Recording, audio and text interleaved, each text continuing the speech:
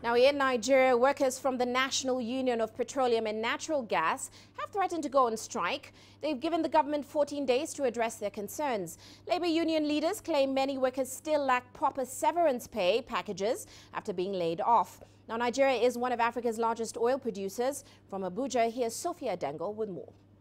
Union leaders in Nigeria say the strike is inevitable following months of negotiation with the state oil body, the National Petroleum Corporation, NNPC, over severance paid owed to 300 workers whose contracts were terminated prematurely last year. The union leaders claim that the workers attached to the seafood drilling company were fired without warning and had not received compensation.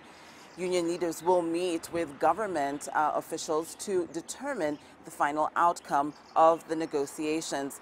Now, Nigeria's labor ministry, however, asserts that the workers will need to settle their disputes in court. Experts say strike action could negatively impact on oil production in an already struggling economy. Earlier this year, petroleum tanker drivers embarked on a nationwide strike over poor pay, drawing attention to the welfare of workers in the oil sector. Sophia Dengo for CGTN, Abuja, Nigeria.